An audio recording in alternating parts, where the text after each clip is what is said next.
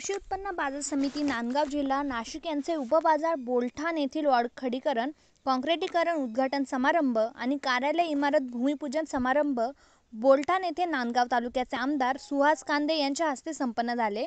अनेक दिवसापासून प्रलंबित कामे आमदार सुहास अण्णा यांनी केलेल्या पाठपुरवठ्यामुळे मार्गी लागल्याचे समाधान सर्वांनी व्यक्त केले. याप्रसंगी कोरोना काळात थांबलेली कामे त्वरित सुरू करून पूर्ण करण्याचे आश्वासन आमदार कांदे यांनी दिले.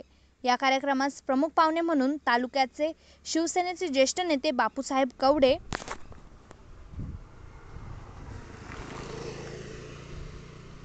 नांदगावचे नगराध्यक्ष राजेश कवडे बाजार समिती उपसभापती राजाभाऊ देशमुख बाजार समितीचे संचालक विलास आहेरे एकनाथ सदगिरे पुंजाराम जाधव भाऊसाहेब हिरे गोरख सरोदे दत्तात्रय निकम भारत शेलार भाऊसाहेब सदगीर नंदू खरात यज्ञेश कलंत्री भास्कर कासार महिला संचालक मनीषाताई काटकर पंचायत समितीचे सभापती सुभाष कुटे उपसभापती मधुबाला खिरडकर जिल्हा परिषद सदस्या सुनीताताई पठाडे सामाजिक कार्यकर्ते शेतकरी वर्ग हमाल मापारी